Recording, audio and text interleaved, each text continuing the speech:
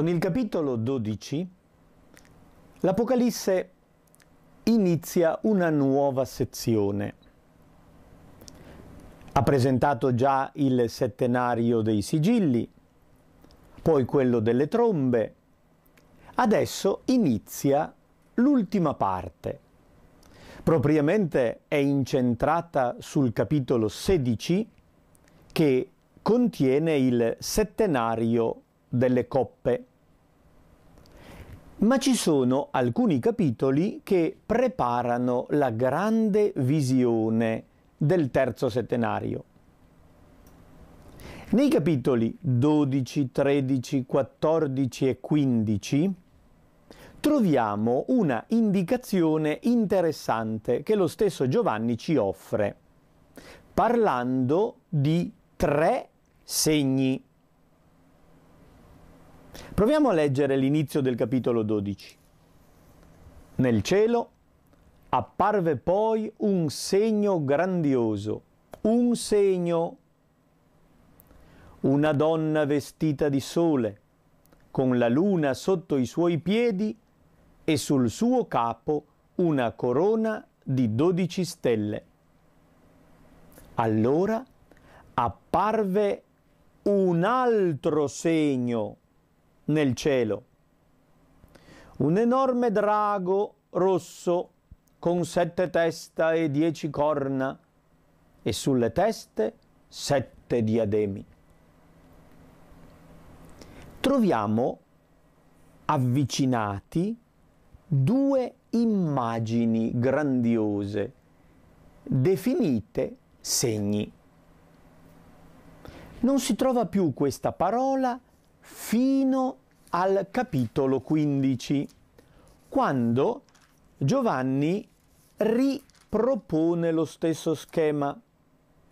Poi vidi nel cielo un altro segno, il terzo, grande e meraviglioso, sette angeli che avevano i sette catini, le sette coppe, con gli ultimi flagelli. Dunque, questa sezione è strutturata come l'analisi di tre grandi segni. I primi due mostrano una donna e un serpente. Sono le immagini del conflitto. Invece il terzo segno evoca la soluzione. Si tratta del segno che annuncia la soluzione del conflitto. Qual è il conflitto di cui si parla? Lo scontro fra la donna e il serpente. Quello che traduciamo con drago è propriamente il termine greco dracon, che indica un grande serpente. Potrebbe essere un pitone, un boa, ma non è un animale semplicemente, è l'immagine simbolica del male, del diavolo, colui che in ebraico è chiamato Satana. Lo spiega il testo stesso un po' più avanti è il serpente antico. Lo scontro dunque fra la donna e il serpente mostra chiaramente l'immagine primitiva della tradizione biblica. È lo scontro primordiale, l'umanità e il diavolo all'inizio della storia c'è stato questo scontro che ha determinato il corso di tutta la storia. Dunque, in questa donna vestita di sole, noi possiamo vedere l'immagine della umanità primordiale, cioè del progetto progetto buono di Dio sulla umanità. di fronte alla quale si è posto il serpente con l'intenzione di divorare il figlio. La donna è incinta, è un'immagine strana e potente. L'umanità è presentata come portatrice del Messia in sé, come il proprio figlio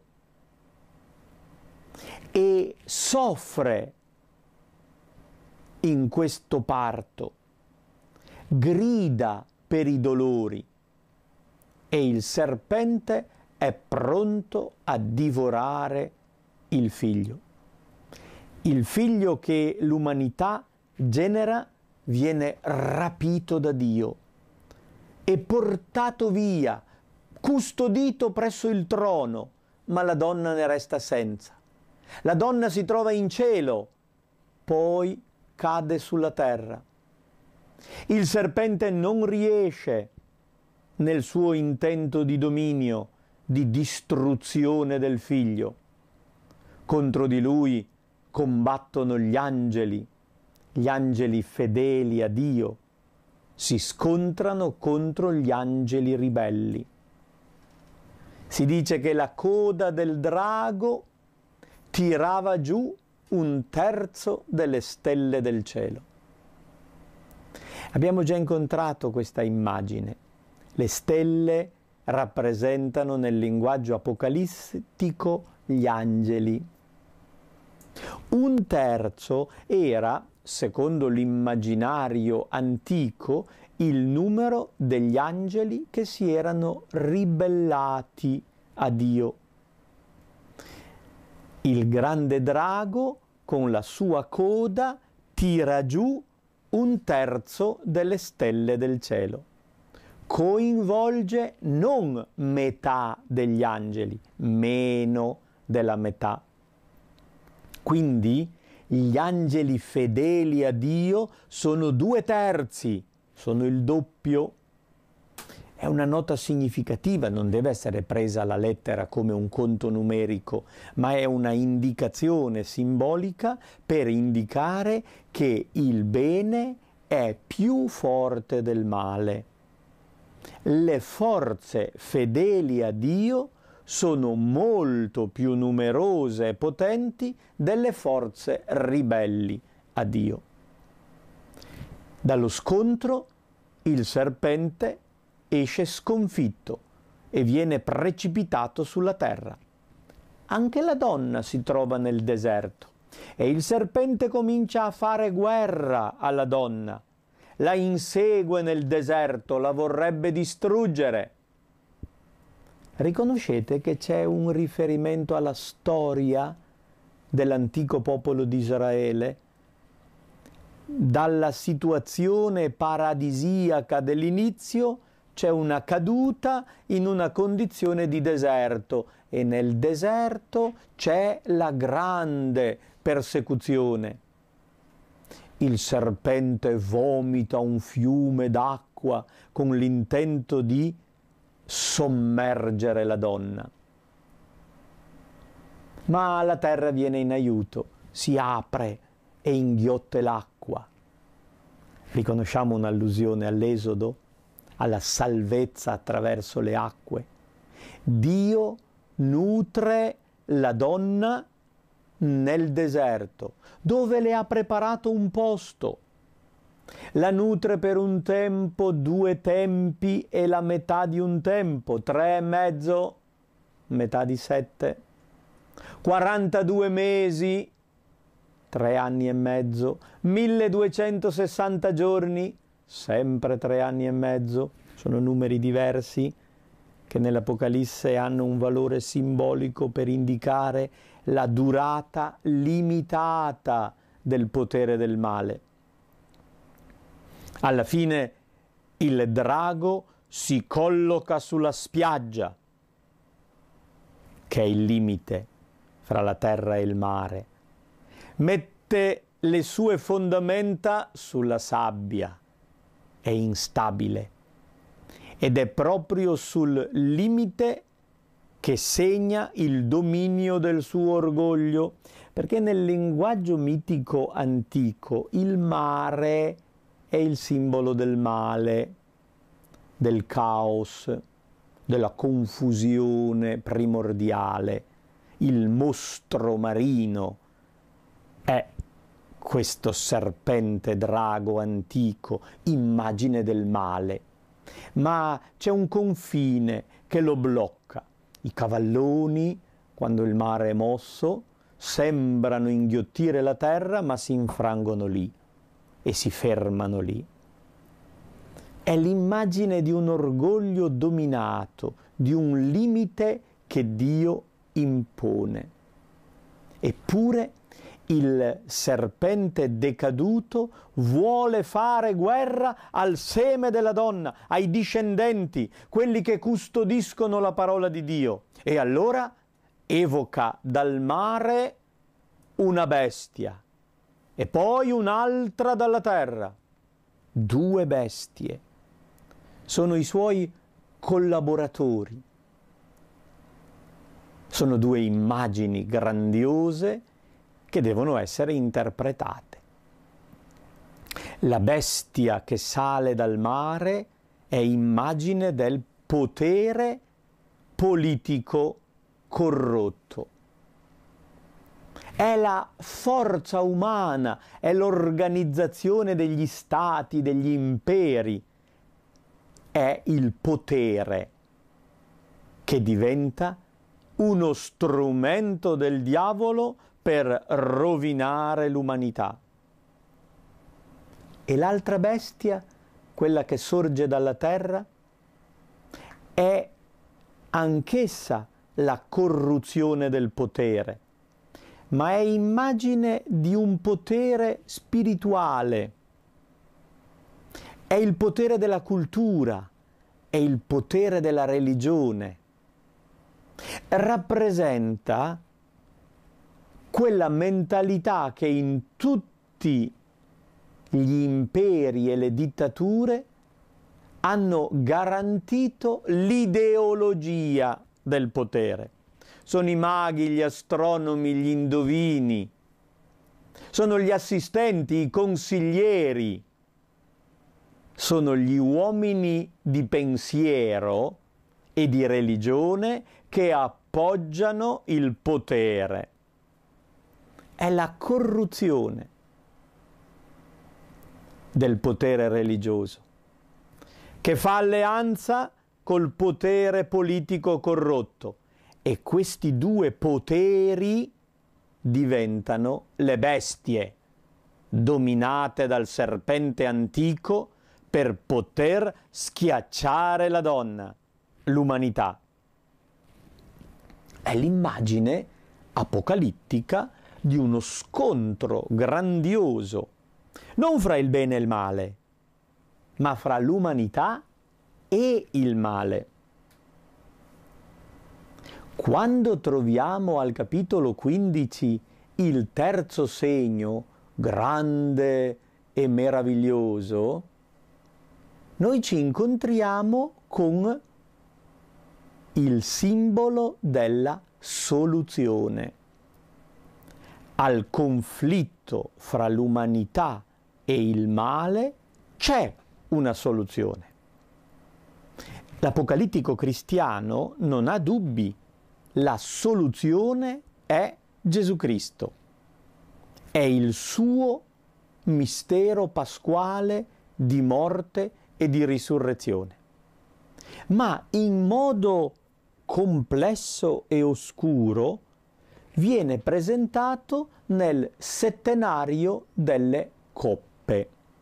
Eh, dicendo coppe, noi pensiamo o a dei calici, cioè dei bicchieri grandi per bere qualcosa, oppure nel nostro linguaggio moderno le coppe sono diventate trofei, oggetti che si danno come premio a qualche vincitore non è quello che intende dire il testo dell'Apocalisse. La traduzione migliore, secondo me, anche se non è molto fine, potrebbe essere la parola catino. Perché il termine greco adoperato per indicare la coppa, fiale, indica un contenitore basso e capace di contenere parecchio liquido. Questo termine tecnico corrisponde ad un altro termine tecnico dell'ebraico e indica gli aspersori. Avete presente il secchiello dell'acqua santa? È un oggetto liturgico di quel genere, cioè un contenitore dove si mette un liquido non da bere, ma da prendere e gettare sopra per benedizione, per purificazione. Noi siamo abituati a compiere questi riti con l'acqua. Invece, nella tradizione ebraica, questi catini contenevano sangue. Quando veniva fatta l'immolazione di un animale, un sacrificio espiatorio, il sacerdote raccoglieva il sangue dell'animale ucciso in un contenitore, in una bacinella, in un catino, magari di metallo pregiato. E questo sangue raccolto veniva poi asperso. C'era un'occasione importantissima nella liturgia dell'antico Israele in cui avveniva questa aspersione. Era il giorno del Kippur, Kippur significa espiazione. Il 10 del mese di Tishri, che capita fra settembre e ottobre, il sommo sacerdote compiva un sacrificio di espiazione per i peccati di tutto il popolo. Raccoglieva il sangue di questa vittima nel catino e portava il sangue dentro il santuario nel santo dei santi, dove c'era il coperchio dell'arca e prendendo con la mano questo sangue aspergeva sette volte quell'oggetto sacro e misterioso, chiedendo a Dio il perdono di tutti i peccati del popolo. Quello è il sangue dell'aspersione. Quello è il sangue che viene versato in remissione dei peccati. Riconoscete però delle frasi che anche noi cristiani adoperiamo. Ma quando parliamo di sangue che redime dalla colpa, che cancella i peccati, noi non pensiamo a quella di una vittima animale, di uno dei tanti agnelli uccisi nel Tempio di Gerusalemme. Pensiamo ad una persona, pensiamo a Gesù Cristo. È il suo sangue che compie l'espiazione. Dunque, i sette angeli vestiti di lino, con la fascia al petto, esattamente come i sacerdoti dell'antico rito levitico, che portano in mano sette catini, rappresentano simbolicamente il grande Kippur, cioè l'evento della definitiva espiazione del peccato. Questo segno grande e meraviglioso richiama la liturgia che porta a compimento il perdono dei peccati. Dunque è un riferimento alla morte e risurrezione di Gesù Cristo. Soluzione del conflitto fra la donna e il serpente. Il terzo settenario, detto delle coppe o dei catini, mostra l'espiazione definitiva e dice che quella lotta è stata vinta da parte dell'umanità e il drago, il serpente antico, è stato sconfitto. reso impotente. All'umanità è data la possibilità di ritornare alla santità della prima origine. Forse vi aspettavate di sentir parlare della Beata Vergine Maria a proposito della donna vestita di sole, con la luna sotto i piedi e una corona di dodici stelle. È vero, nella tradizione questa immagine è stata applicata alla Vergine Maria. Questo brano dell'Apocalisse lo leggiamo tutti gli anni il 15 agosto nella festa dell'Assunzione di Maria al cielo. Però dobbiamo stare attenti a non semplificare troppo le cose. Il testo dell'Apocalisse non parla direttamente di Maria. In questo grande quadro teologico di storia dell'umanità, Giovanni presenta la natura umana creata buona da Dio, nello splendore della sua originalità. Però noi riconosciamo che in Maria quella natura umana buona, bella, perfetta, si è realizzata davvero. Lei è la realizzazione di quel progetto. E leggendo questo passo nella festa della sua assunzione al cielo, non intendiamo dire che quella donna che Giovanni vede in cielo è Maria assunta, ma intendiamo dire che in lei si è realizzata la vittoria sul male, una vittoria definitiva e completa, tant'è vero che concepita senza peccato originale, è assunta alla gloria del cielo in anima e corpo. In Maria si è realizzato di già il progetto di Dio, dall'inizio alla fine. Quello che in lei è già avvenuto è in esecuzione per tutta l'umanità. Noi aspettiamo di vedere compiuto per noi quel che in lei è già avvenuto. Ma l'Apocalisse di Giovanni ci mostra il quadro globale e garantisce che il bene è più forte del male e l'umanità, grazie al sangue di Cristo, vincerà definitivamente il serpente antico.